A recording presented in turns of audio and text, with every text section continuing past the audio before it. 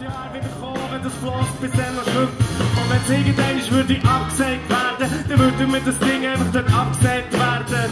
Provozieren und mit dem dort schwimmen und für immer und immer, immer im schwimmen. Gute, meine Damen und Herren, ich weiß gar nicht so genau, was ich heute Abend zu trennen. Also sagen wir was, wollt ihr sagen für das? Gib mir irgendjemand irgendein